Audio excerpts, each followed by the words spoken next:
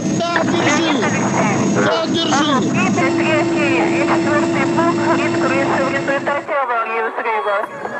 Номер центральный зал блока номер 4. Включи! Jag heter Dima Litvinov och jag arbetar på Greenpeace. Jag har arbetat med kärnkraftsfrågor under flera decennier, bland annat i Ryssland och i många andra länder. Och nu i juli i år var jag en del av en grupp som åkte in till Ukraina för att dokumentera den potentiella strålningsförvärringen i området kring Tjernobyl. As soon as you go half a foot off, you start getting really high levels. Okej. Vi hade bjudits in av de ukrainska myndigheterna för att genomföra den här oberoende undersökningen. Den 24 februari i år var det som ryska militären har rullat in i Ukraina och uh, tog över kärnkraftverket i Tjernobyl. Vi åkte in i Ukraina och så på vägen till Tjernobyl då passerade vi uh, krigslandet. Det militära kontrollstationer, förstörda byar, helt sönderbombade städer och sönderskjutna vägskyltar. Och till slut nådde vi Tjernobyl, den själva förbjudna zonen. Alltså området som drabbades hårdast av katastrofen vid kärnkraftverket 86. Och den, den är väldigt hårt bevakad, både militären och polisen.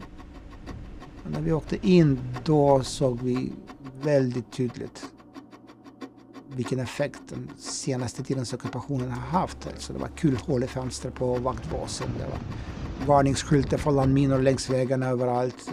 Förstörda broar. Det var utbrända skal av militärfordon. Innan vi åkte in i fält och började mätningarna först stannade vi till vid eh, laboratorium för strålningsövervakning. Och det är labbet som drivs av våra värdar, alltså Chernobyl Exclusion Zone Authority.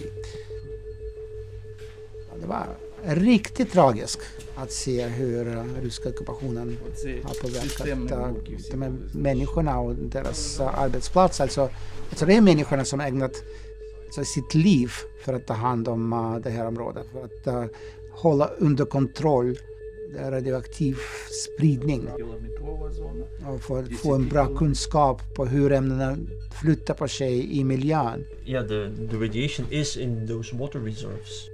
Och det labbet var helt vandaliserat, det var helt förstört av våra ryska styrkor. Ja, Vi gick runt kring eh, den här byggnaden och det var, man ser krossade fönster och krossade dörrar och Комп'ютери пошкодили. Ну, spillda flaskor med radioaktiva ämnen och radioaktiva prover på golvet. Alltså, datorerna är helt smashade, dokument förstörda och kontorsmaskinerna sönderslagna. Alltså det var årtionden av eh, insamlad data som har gått förlorat. Deras arbete har nu blivit i stort sett omöjligt. Den eh, stor del av området som de ska övervaka är otillgängligt på grund av alla minor som är kvar nu fortfarande.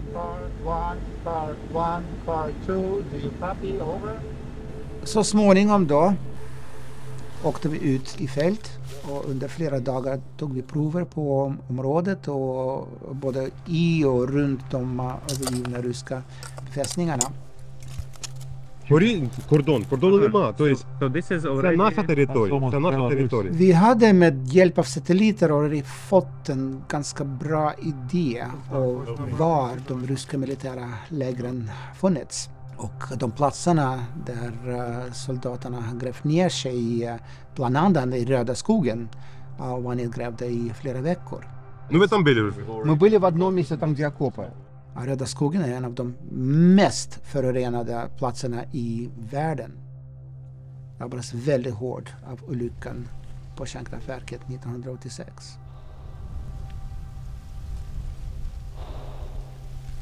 Vi var väldigt oroade för att uh, det här radioaktiva som uh, frigjordes när uh, soldaterna grävde ner sig och, och så tillsammans med bränderna som trupperna verkar ha anlagt. Det skulle ha spridit radioaktiva ämnena till ett uh, ännu större område för att rena det ännu mer. En del av de här proverna kunde vi analysera direkt på plats i fält med ett mobilt laboratorium. Sen andra prover kunde vi paketera och så skickade för analys till labben hos eh, myndigheterna. 100 grams. Alltså samma som övervakar Tjernobyl. can get you the weight for that as well. They have 44 kilobecquerel and, And you have 45. 45. That's fantastic. Sen kunde vi också göra en bredare sveppning av vägnätet. Det gav oss en, en bra bild av eh, hur uh, radioaktivt material har kunnat sprida sig i området.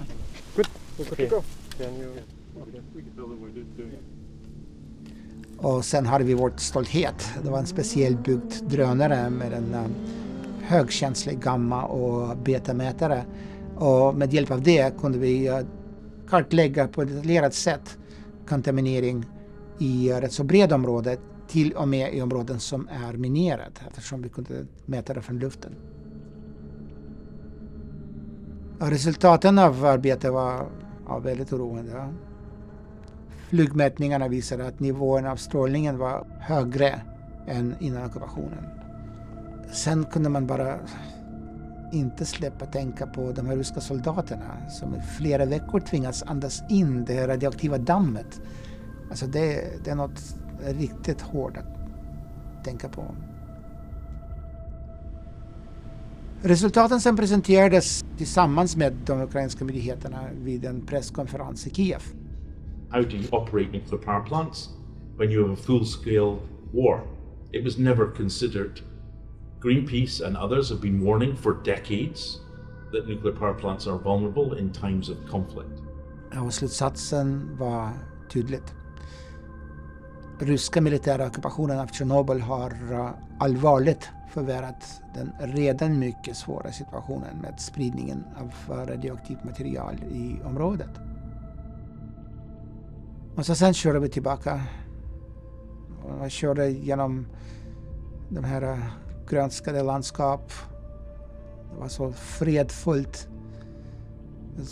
Solrosfält och storknästen. Och man kunde inte låta bli att bara tänka alltså, hur kan vi på allvar överväga att fortsätta investera i kärnkraft hemma i Sverige? Alltså, vi lever i en värld som känns mer och mer instabil och farlig varje dag.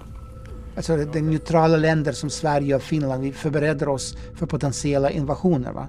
Vi ansluter oss till NATO och militära allianser och så vidare. Och så, samtidigt envisas vi med att investera i energisystem som innebär katastrofala konsekvenser ifall vi blir attackerade. Varför fortsätter vi att göra oss beroende av reaktorer som snabbt kan bli militära mål? Som kan uh, utsätta oss för uh, en sorts utpressning på samma sätt som uh, ryssarna nu använder sig av, uh, Zaporizjzja kärnkraftverk i Ukraina för att uh, utpressa genom att hota att attackera kärnkraftverken.